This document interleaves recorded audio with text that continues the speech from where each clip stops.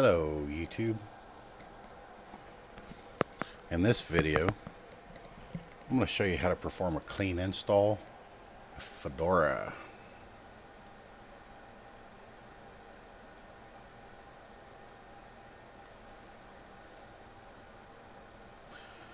Fedora is what Red Hat used to be and on this you can do start Fedora Live, test the media and start Fedora Live, or you can do troubleshooting from the boot disk.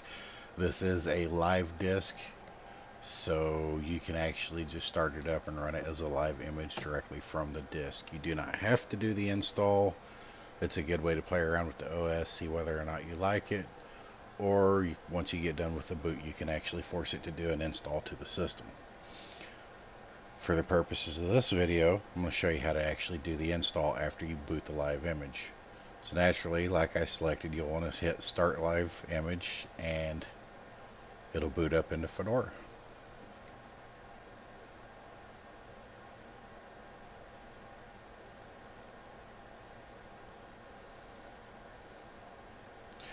Red Hat has went more along the lines of the enterprise side meant for data centers and businesses where Fedora is the desktop version for home users and stuff like that. And they do have Fedora Server, which is intended more for the home user.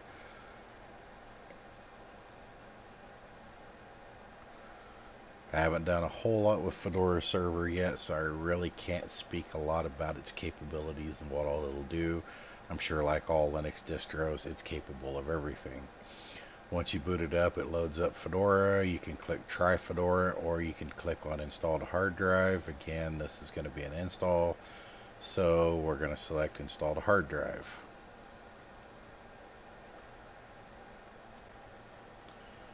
Okay, and just like earlier with the Ubuntu install, we're going to want to do English, English. So come down here and click Continue.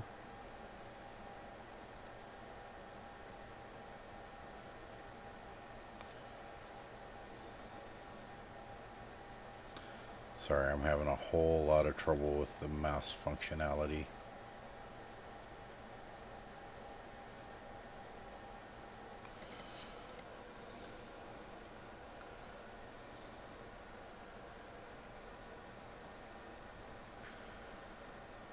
And now it's got the keyboard. As you can see, it's already automatically detected the time zone. If you need to manually change it, you can click on it and change the time zone on the installation it's got automatic partitioning selected.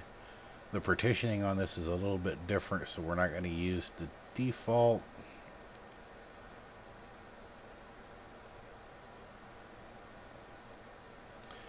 I will configure the partition.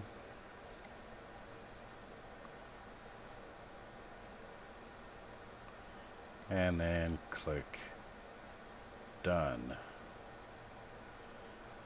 now we can set up exactly how we want the partition to set up. We can do LVM, LVM thin provisioning, standard partitions.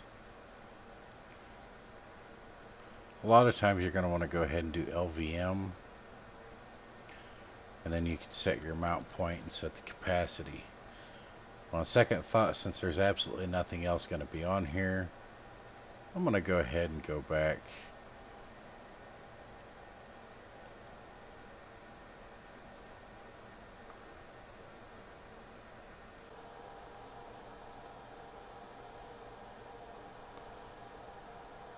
Okay, now that we're back, instead of doing the actual manual setup, it's pretty simple. I mean, it's it's just the the process is pretty close to the same for every single different distro Linux. This is not going to have anything else installed on it. This entire drive is going to be nothing but Fedora 22. So we're just going to go ahead and leave it exactly as it is. I'm not going to worry about encrypting the data. You'll have to set up a passphrase. You can do that if you want the drive encrypted. I'm not too worried about it on this one. I'm just going to go in and create the partitions. So click Done. Oh, you can do the LVM thin provisioning. There's a bit of difference between the way LVM thin provisioning and standard LVM works along with standard partitions. There are quite a few standard partitions you can use. I, on the other hand, prefer to use LVM with Fedora. And then we're going to add a mount point and set up the desired capacities.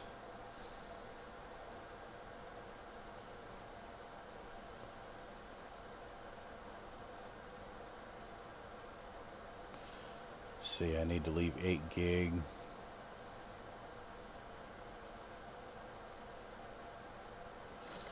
We're going to do 12 gig right here.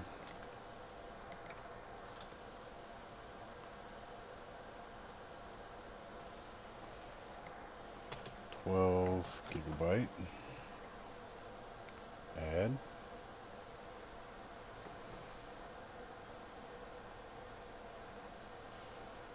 And now we need to add a swap partition. That 8 gigabyte. Add. And as you can see, we now have our partition set up. We have 1.3 gig available. We're going to leave that 1.3 gig alone.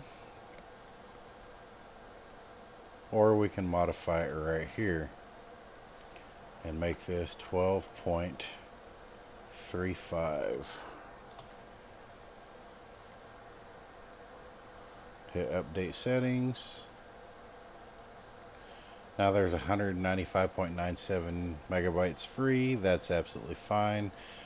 You can fine tune things the way you want here. I could have added the 1.35 gig or yeah, 1.35 gig here. Either way, it would have been fine. This is still going to be overkill for the swap file given the fact that I'm going off of double size. So once you're done putting in your actual configuration, hit done.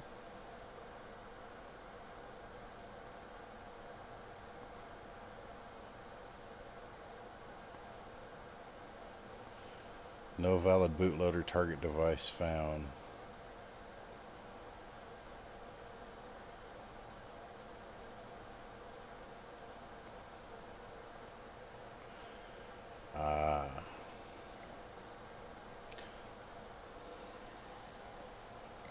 1.95.97. I forgot this with it being an EFI system requires the EFI boot mount point. So we're going to add that. There's now 1.97 megabytes available and we should be good.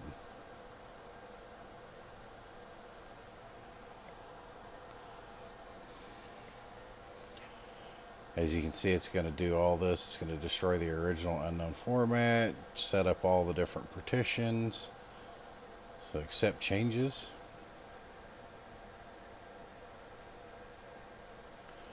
And now we're ready to click begin installation.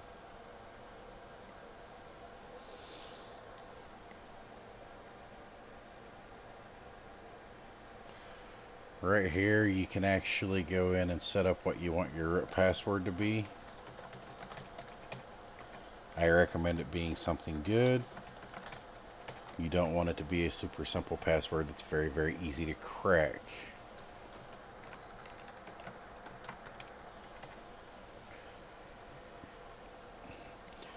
and you can also create your first user.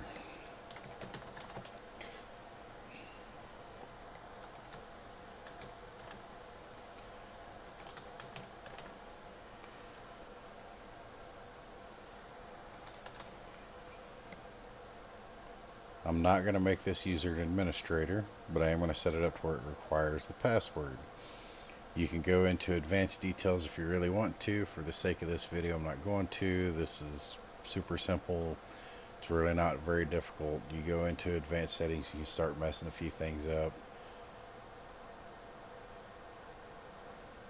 If you do want to make the uh, account an administrator, you can.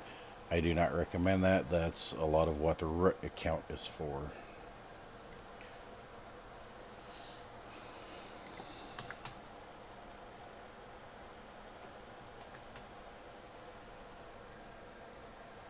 As you can see as well, Fedora kind of has a little bit more requirement for um, the passwords and stuff unlike Ubuntu. The password on Ubuntu was let me in.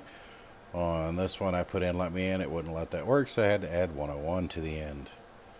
Of course it's stupid that I was able to fool it by putting in 101, but eh, you can't win on all of them. The rest of the installation won't really require any user input or interaction at all. So from this point, feel free to walk away, go get something to drink, go to the bathroom, run to the store if you need to. You got plenty of time and you'll be good to go. I'll see you in a few once this installation is complete. Alright, as you can see the install is complete, so now all you got to do is click quit.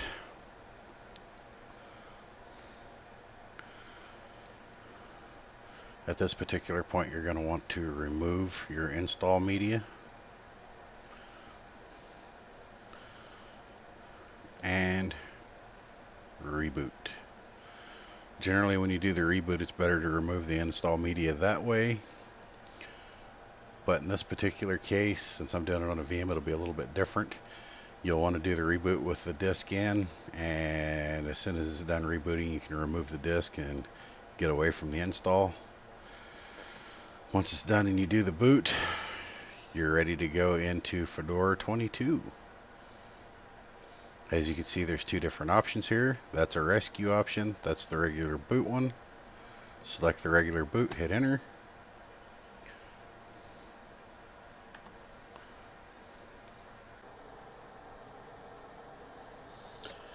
And now it's ready for us to log in for the first time. So we select our user account, which in this case is test box.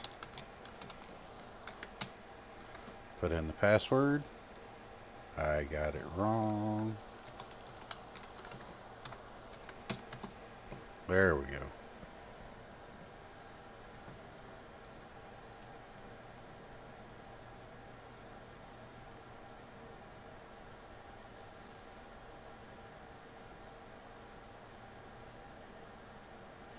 And here we are booted up into Fedora 22 for the first time. So you can click on activities. There's Firefox, Evolution email client, Rhythmbox for MP3s. You got Shotwell for photos, files, and software right here. English United States. Go through the GNOME initial setup. Keyboard US. Location services on. Automatic problem reporting is on. Next.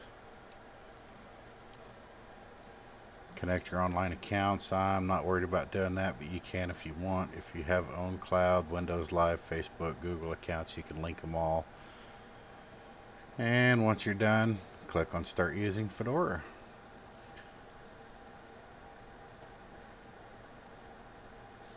Gives you the little getting started screen. You don't necessarily have to worry too much about that. Come down here to show applications. As you can see it has a camera app. There's all kinds of functionality. You got empathy which is a multi-IM client. Comes packed with LibreOffice and of course there is a lot of other software out there that you can get. It also has mapping software massive, massive amounts of software out there for Fedora. Fedora's been around for a long time, ever since the early days of Red Hat. It is a really good all-around operating system. It doesn't quite have the user following that Ubuntu has, but it's still rated up there pretty high. It has a lot of business applications because of the enterprise part of it, which is still under the Red Hat name overall it's a good Linux operating system and I would recommend it for use. This information is out there for absolutely everybody as always. Watch, like, and share. Have a great day.